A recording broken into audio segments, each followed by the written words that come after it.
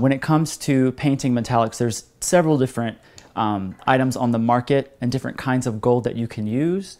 Obviously, you can use silver as well if you want, pearl dust. There's uh, plenty of different options.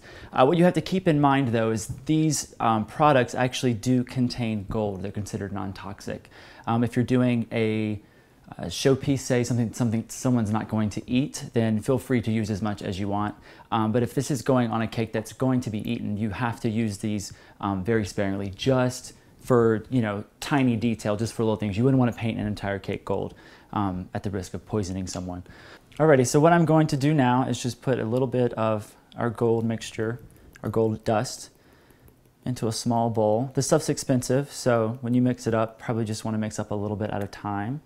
And really the best thing to use to um, dilute this is grain alcohol, and I know that that's not available uh, readily in every state and maybe not in your area, so you can actually just use vodka, and that's what I'll use today. Um, the only difference is the um, the grain alcohol actually dissolves it much better and then it evaporates really, really quickly. So you get a nice high shine, whereas the vodka is a little bit more, more slowly um, drying. So I'm just gonna put a few drops in here, just a few drops at a time. And then we're gonna just sort of mix it up. You can always add more, so don't add too much to begin with. And you can see the viscosity of it. It's got a little thickness to it, but it's not super thick, it's not clumpy, and it's not super watery. So when you shake it around, you can sort of see the ripples in there. That's kind of what you want. Make sure all that's dissolved. Perfect. Bring my towel over here. The one thing you want to keep in mind is to not load your brush with too much of the paint because you don't want this to drip.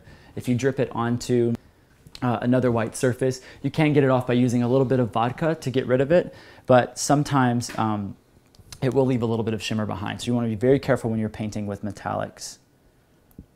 And so at this point, you will have you know all of your piping that you want to paint on here and dried for probably at least an hour, I would say.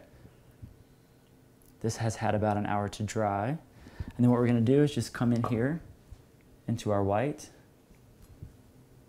I'm going to steady my hand with the, with the other side of the brush so I make sure I'm just getting, you can see it sort of spreads itself out.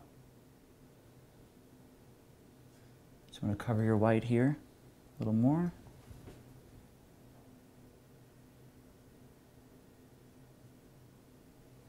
Let it sort of like gild itself. It'll sort of spread out on its own.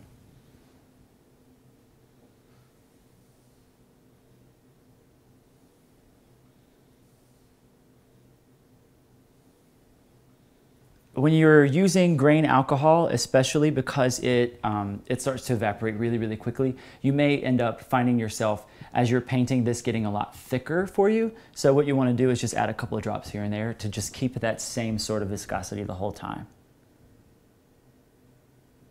You see it goes on pretty easy. You just have to be very careful. If you want to, I mean, you can noodle this for days, come back and sort of make sure it's all covered. We'll do the same thing with the B up here. Once again, it's sort of like piping. You want to make sure that you steady yourself because my hands shake a lot and I'm doing really tiny things. So that's why I always make sure that I steady myself with either my head or with my other hand.